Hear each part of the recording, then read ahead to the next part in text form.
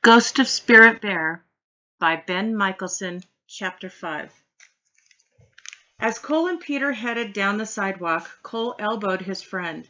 Hey, your secret weapon worked. Yeah, Peter said with a grin. Then he grimaced. Are you okay? Peter wiped blood from his face. The principal can't stop Keith and his friends. Seeing Keith slap you this afternoon made me want to pound his head against a sidewalk, Cole said. I want to see him stutter and stammer the rest of his life. Maybe I should just beat him up and let the circle send me to jail. Tears filled Peter's eyes.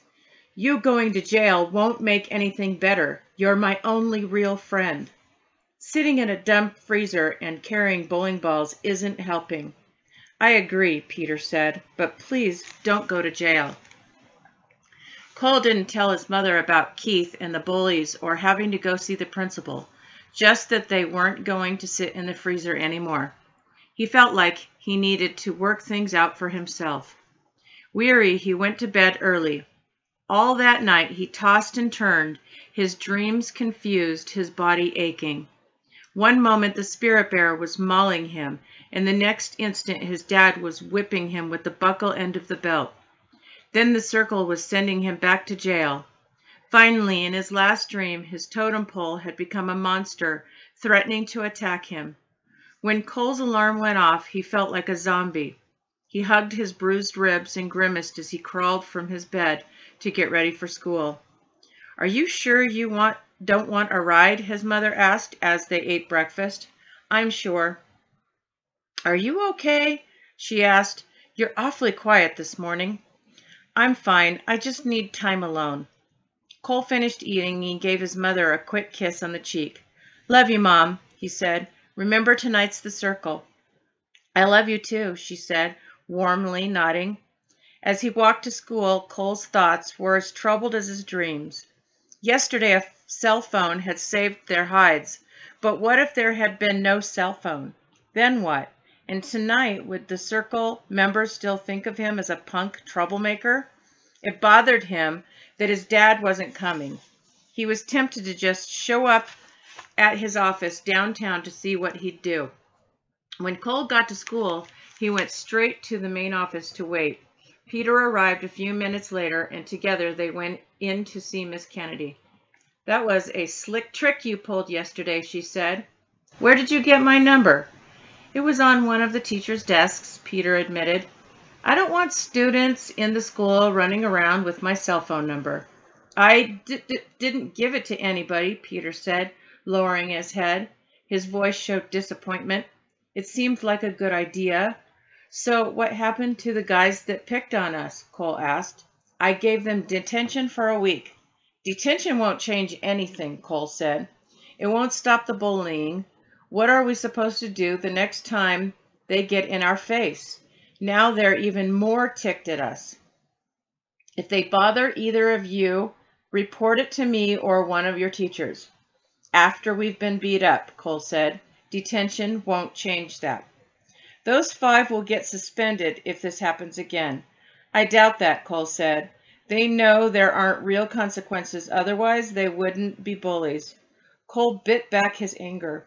Every day kids are getting hassled and nobody sees it or does anything about it. Each person has to do his part, Miss Kennedy said. It was good that you didn't fight back yesterday. You don't get it, do you? Cole said angrily. This isn't about us not fighting back. When I was a bully, the more somebody refused to fight, the more I picked on him.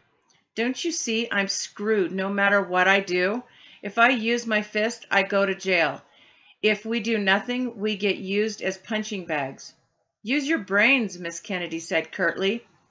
We did that, Peter exclaimed. We used the cell phone, and you didn't like that. Miss Kennedy reached across her desk and gathered papers into her hands. There's no easy answer. You two need to get to class now. After school, Cole found Peter near the bulldog statue. With school back in session, Fresh gang symbols appeared each morning on the crumbling pedestal. What do you want to do if we're not going to drop bowling balls? Peter asked. Maybe we can look for a place to be invisible. All right, Peter said. Let's go same place really quiet. Ten minutes later, they were still looking for a spot when they heard wild swearing and shouting. Ahead, they spotted two boys hassling the old homeless man from the abandoned building. One boy had tipped over his cart as the other taunted him. At first, the grizzled man brandished his whittling knife each time one of the tormentors ventured near, but soon he knelt and cowered, pulling the dirty white blanket tightly around his shoulders. Cole remembered cowering the same way when his father had whipped him with a belt. As Peter and Cole watched, one of the boys grabbed the man's blanket. The bum clung to it desperately, but the boy yanked it away, laughing. Knock it off, Cole shouted, breaking into a run. At that moment, a police car rolled into view, lights flashing. The two boys took off running. The homeless man picked up his blanket and retreated to his tipped over cart, glaring wildly and brandishing his knife at the world. The two police officers climbed from their car and drew their pistols as they approached the crazed man. Slowly they circled him, talking patiently and holding out their hands for the knife. Finally, one officer grabbed the old tramp from behind and wrestled the knife from his hand. They handcuffed him. Cole ran up. Officer, it wasn't that guy's fault. And who are you? I'm Cole Matthews. Two boys were hassling the old guy. They tipped over his cart and grabbed his blanket. He was just protecting himself. The bum eyed Cole with quiet blue eyes. Do you know the boys who did it? the officer asked. Cole shook his head. I didn't recognize them. No matter what, this guy can't be waving a knife at people, said the second officer. Peter joined Cole beside the police car. He just carves with it, Peter said. We saw him whittling. We still have to take him in. The patrol car drove off with the bum in handcuffs. His belongings were scattered on the ground. Worn pieces of clothing, an old bowling trophy, a hand mirror, some broken toys, a bundle of clothes hangers, and ordinary trash as if the old guy was cleaning up the streets. Let's put it all back in the cart and push it over to the building where he lives, Cole said. We'll leave it inside. Quickly, they picked up scattered junk. They were almost finished when Peter called, Hey, look at this! What you got? Cole asked. Peter walked over and handed an object to Cole. That's what the guy was carving. Cole turned the small chunk of carved wood over in his hand. The guy had started carving a bear's head. It was amazingly lifelike. Peter took the carving back from Cole. Man, this thing looks real. I want to try, try and carve one just like it. That night, Garvey brought his old station wagon by to pick up Cole and his mother for the circle meeting. They all sat in the front seat. So what have you and Peter been up to? Garvey asked. Trying to pretend we're on the island again. For a pond, we sat up in a freezer down at Frazier's grocery store. For ancestor rocks, we dropped bowling balls from an old abandoned building. But it's not working. You don't need ponds or ancestor rocks anymore, Garvey said. Look at a leaf. Glance up at the stars, or just close your eyes and breathe deeply. Go inside yourself to the place you're already at. The island taught you where that place was. Now all you have to do is be there. You make it sound so easy. Because it is. Don't fight it. I'll try, Cole promised. How about the spirit bear? Garvey asked. Have you seen the spirit bear? Cole looked over at Garvey quizzically. We thought we did on Monday, but it was just an old man, Cole told Garvey, and his mom about the home homeless man being arrested. When we picked up his stuff this afternoon, Peter found a bear head the old guy had started carving. That's a good sign, Garvey said. Yeah, it's that yeah, isn't that a coincidence?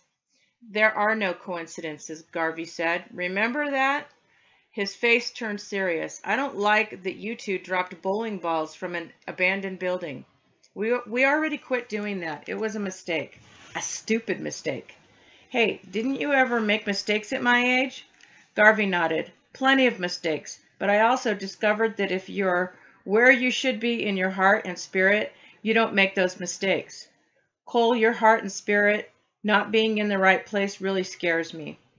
When Cole arrived at the circle, half the chairs were already filled. He recognized the keeper, the plump woman who had led the circle that banished them to the island.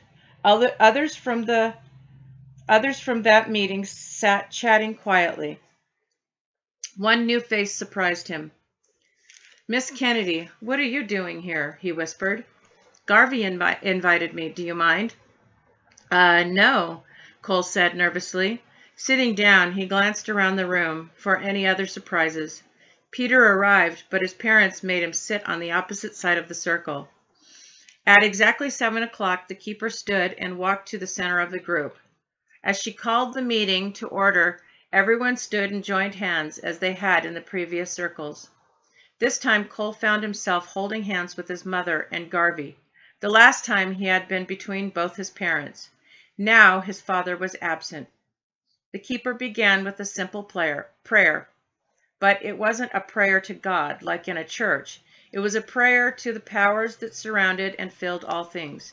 It was a prayer of honor and thankfulness. Then the keeper held up a large brown hawk feather. This feather symbolizes honesty and respect. No one may speak without holding this feather. When you speak, speak from your heart. Tonight, I'm beginning our circle by letting Peter and Cole each tell of their experiences on the island.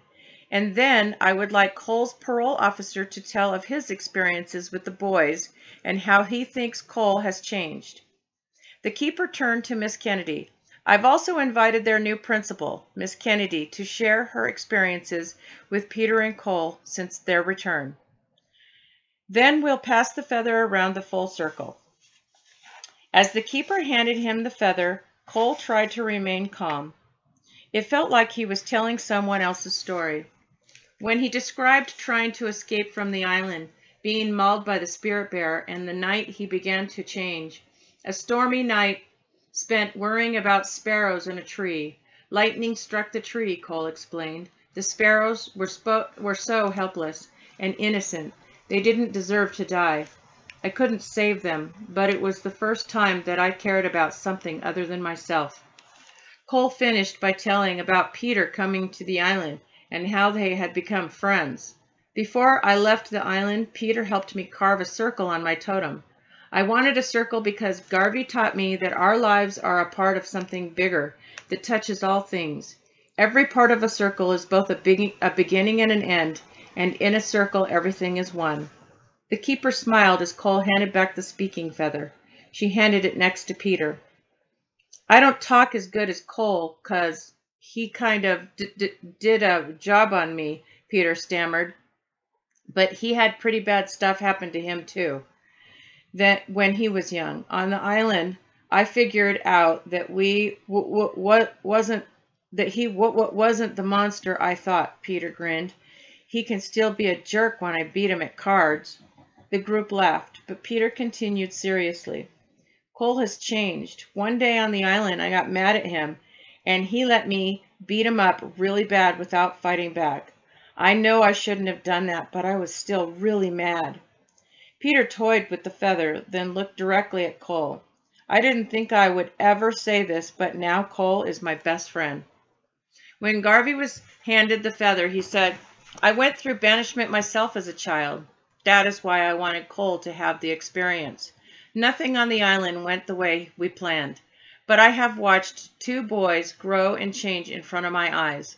Garvey considered his next words. Their battles aren't over yet, he said, but I think they've both proved they're mature enough to fight those battles. Any banishment for Cole at this time would be counterproductive. Cole waited nervously for Miss Kennedy, Kennedy to speak.